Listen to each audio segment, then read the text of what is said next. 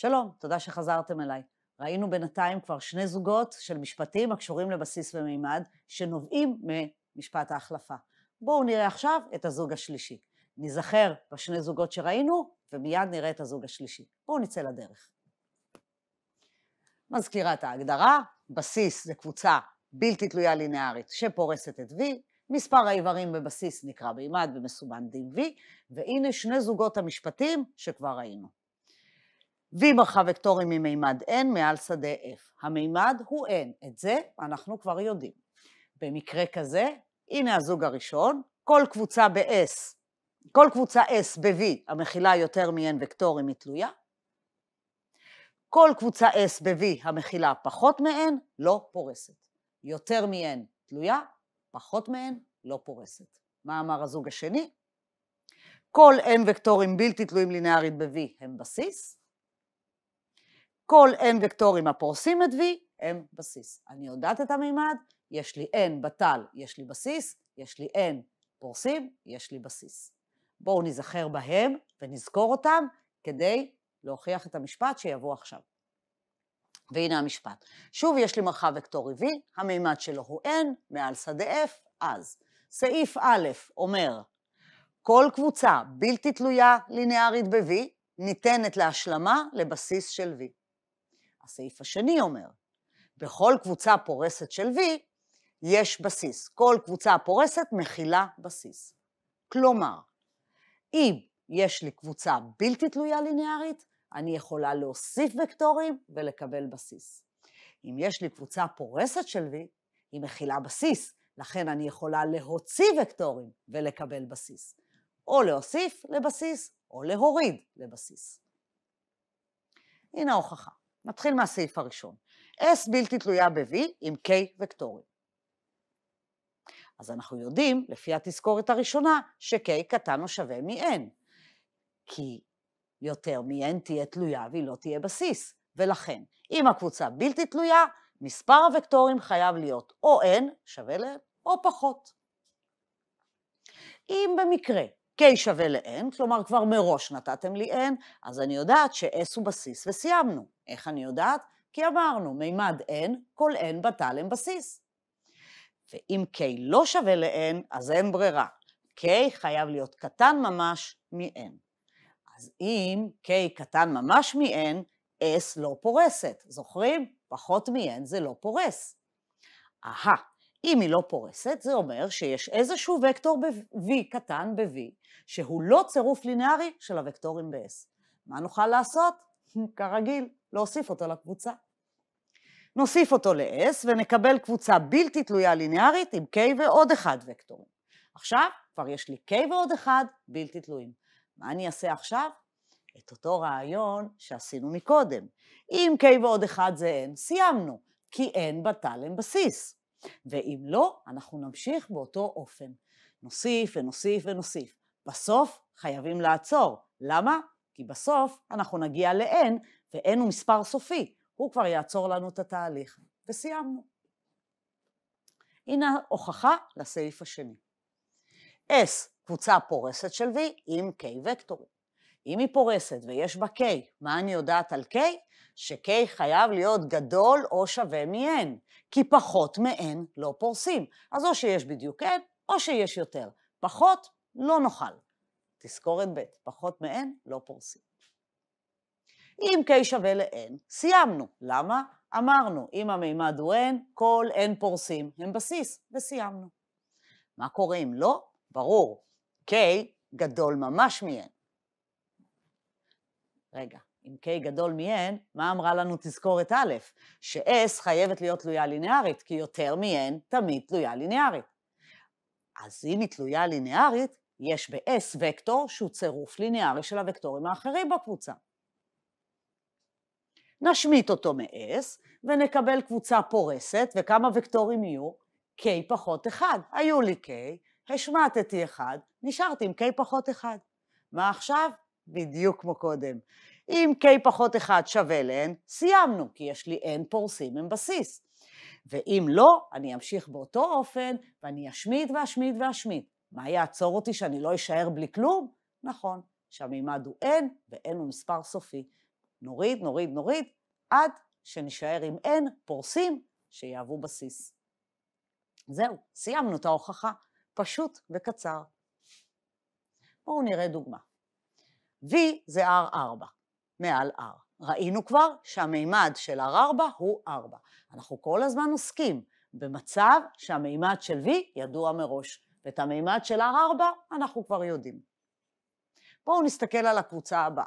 1, 2, 1, 1, 2, 4, מינוס 3, 7. אנחנו יודעים שהקבוצה הזו בלתי תלויה ליניארית. למה? יש לי פה שני וקטורים שהם לא פרופורציונליים, הם לא האחד כפולה של השני. אז זו קבוצה בלתי תלויה ב-R4. לכן, לפי סעיף א', אני יכולה להשלים אותה לבסיס של R4. אפשר להוסיף הוקטורים ובסוף לקבל בסיס. איך אנחנו עושים את זה? אנחנו יודעים כבר שהמימד הוא 4, ולי יש רק שני וקטורים, לכן בשביל לקבל בסיס אני צריכה 4 בטל. יש לי שניים, אני צריכה להוסיף עוד שניים, ואז יהיו לי 4 בטל. איך נאתר מכל אינסוף הוקטורים ב-R4?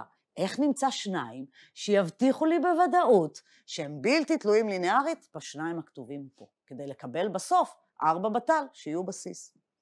בעיה, סתם ככה לקחת וקטורים מהקבוצה R4, מהמרחב R4, זה הימור גדול מדי.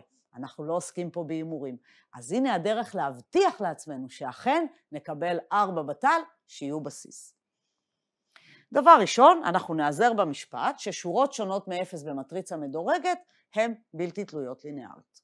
לכן, בשלב הראשון נשים את הוקטורים הנתונים כשורות של מטריצה ונדרג. למה לדרג? כי אנחנו רוצים בדיוק לאבחן איך נראית מטריצה מדורגת, כי על מטריצה מדורגת אני ישר יודעת מתי וקטורים תלויים ומתי בלתי תלויים. כשהמטריצה לא מדורגת, אני לא יודעת לקבוע. אז נשים במטריצה ונדרג. בשלב השני נקבל משהו מדורג, שם יהיה לנו כבר קל להשלים למטריצה מדורגת מדרגה 4. כי במדורג אנחנו רואים את הדרגה בעין. כשהמטריצה לא מדורגת, לא יודעים את הדרגה. הנה S, 1, 2, 1, 1, 2, 4, מינוס 3, 7, אלה הוקטורים שהיה לנו קודם. בשלב הראשון, כמו שאמרנו, נשים את הוקטורים כשורות מטריצה ונדרג. הנה הוקטורים, אני מדרגת, וזה מה שאני מקבלת. אז מה אני רואה כאן? יש לי שני וקטורים בלתי תלויים, את זה כבר ידענו. ונסתכל באיברים המובילים. איפה יש לי איבר מוביל? בעמודה הראשונה ובעמודה השלישית.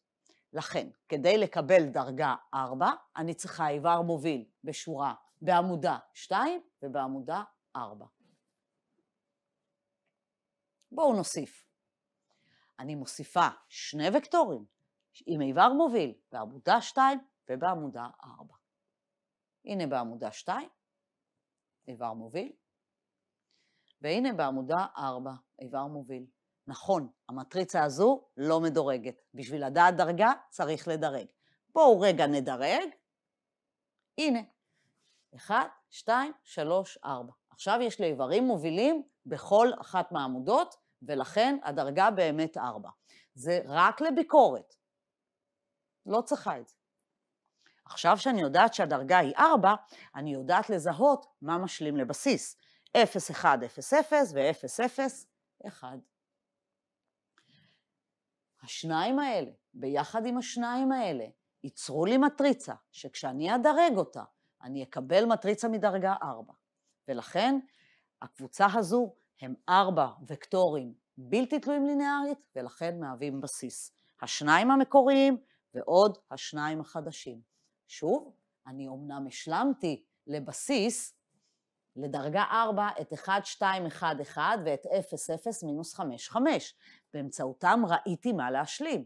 אבל אני יכולה עכשיו לחזור צעד אחד אחורה, לקחת את השניים המקוריים, לקחת את השניים שהוספתי ולדרג. מה אני אקבל? מטריצה מדרגה 4. לכן הארבע האלה, שניים המקוריים והשניים שהוספתי, הם בסיס של R4. לכן בסופו של דבר השלמתי את הקבוצה המקורית. בואו נראה עוד דוגמה. שוב אנחנו עם R4, וראינו שהמימד הוא 4, מה אנחנו רוצים לעשות? בואו נסתכל על הקבוצה הזו, 1, 1, 0, 0, 0, 0, 1, 1, 1, 1, 1, 1. אני מאוד מקווה שאתם שמים לב כמוני לקבוצה המיוחדת B. ואני שואלת את עצמי, האם אני יכולה להשלים את B לבסיס של R4? שמתם לב? נכון, הקבוצה תלויה לינארית. מאוד קל להבחין שהווקטור השלישי הוא סכום של שני אלה שבאים לפניו, ולכן בוודאות הקבוצה תלויה לינארית. מה זה אומר? אם היא תלויה לינארית, אנחנו לא יכולים להשלים אותה לבסיס, כי היא כבר תלויה. בבסיס צריך שתהיה קבוצה בלתי תלויה. אה, אתה שואל אותי, מה יקרה אם אני אשמיט את הוקטור התלוי? נכון. אם אנחנו נשמיט את הוקטור התלוי, נשאר עם שניים בטל, ואת ה-B החדשה, קבוצה אחרת, אותה אפשר להשלים לבסיס. אבל אנחנו לא עובדים על זה. אנחנו מדברים על קבוצה שמראש בטל ואותה משלימים. אנחנו לא מדברים על מצב של ניקח קבוצה, נזרוק, נהפוך לבלתי תלויה ואז נשלים.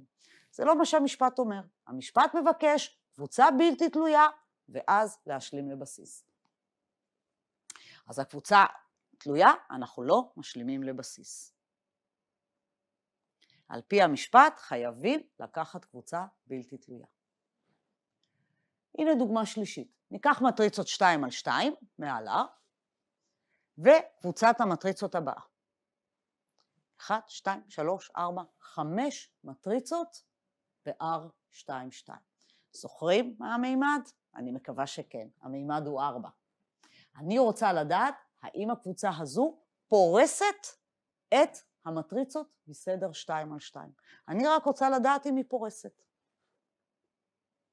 ב-S יש חמש מטריצות, לכן יש מצב שהקבוצה פורסת. זוכרים? המימד הוא 4.